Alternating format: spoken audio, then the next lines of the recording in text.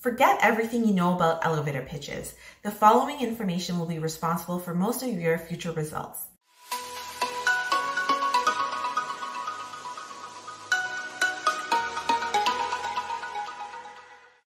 A lot of people fear elevator pitches because who really likes talking about themselves? The reality of the fact is if you're able to do your pitch well, it leaves the listener interested and wanting to know more. The great thing is if you nail down the perfect elevator pitch, you can use it during networking events, interview openers, and social media bios. You really want to make sure that you're separating your elevator pitch into three sections so that it doesn't turn out into this long ramble session. The first part is the brief introduction, aka the hook. This is where you're really going to grab your listener's attention.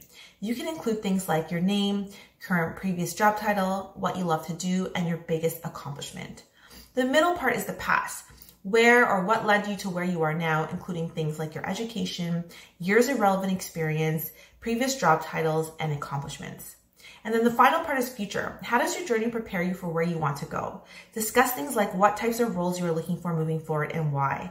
How does the job you're looking for align with your career goals? Once you have all of that figured out, you just need to put it together. Make sure you're keeping your elevator pitch between 30 to 35 seconds and always remember to smile. If this is something you're struggling with, please send me a DM and I'd love to share more details with you. Thanks guys.